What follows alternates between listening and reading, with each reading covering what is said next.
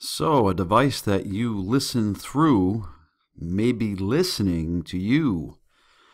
A new class action lawsuit claims high end headphone company Bose has been tracking and distributing customers' data without telling them. No, it can't be true. That kind of stuff doesn't happen, right? Well, according to the complaint filed late Tuesday in the U.S. District Court in Chicago, the headphone company's Bose Connect app does more than just pair wireless headphones with the music in their devices.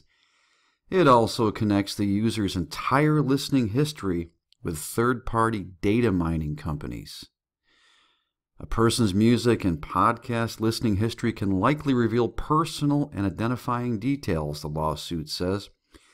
For example, if a, if a user listens to a Muslim prayer service, it is likely the individual is Muslim, the suit notes. Other potentially revealing information, such as sexual orientation or health concerns, could also be gleaned from the data, the suit says. Well, I'm glad I use cheap headphones that I don't think listen to me. But anyway, attorney Chris Dore, whose firm Edelson PC is representing main plaintiff Kyle Zak, who paid $350 for his headphones in the class action suit, and they told NBC News that Bose never informed customers about data mining. Gosh, I wish I could afford 350 bucks for a pair of headphones. Mine cost about $15. But anyway, one of the issues raised by this lawsuit is that it's not clear what's happening, uh, Chris Dore said. The danger with undisclosed and unexplained data collection is the world is open to these companies to do what they want. Dore said Bose Connect does have a privacy policy, but users aren't required to view or agree. Uh, he went on to say the user does not interact with it in any way when signing up for the app. It also doesn't disclose this data collection. No, I doubt that Bose would want you to know that they were uh, data mining you.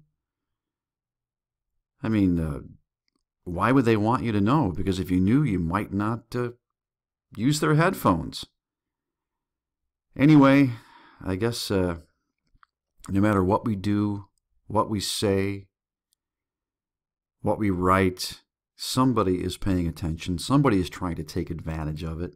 Somebody is trying to sell our information. We really have no privacy in this world anymore, folks. This truly is 1984. I don't know. I guess I'm glad I have my cheap $15 headphones. You know, they sound quite good, actually. They have a nice bottom end response. I mean, they sound they sound wonderful to me. I mean, I've used studio quality headphones when I record music, but uh, again, they weren't Bose headphones, or they aren't Bose headphones.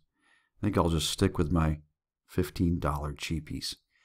Anyway, folks, uh, please hit the subscribe button. Please give this video a thumbs up.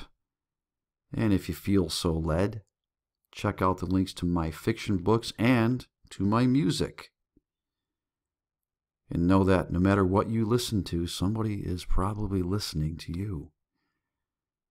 This is Jim signing off. God bless you, and I will see you soon.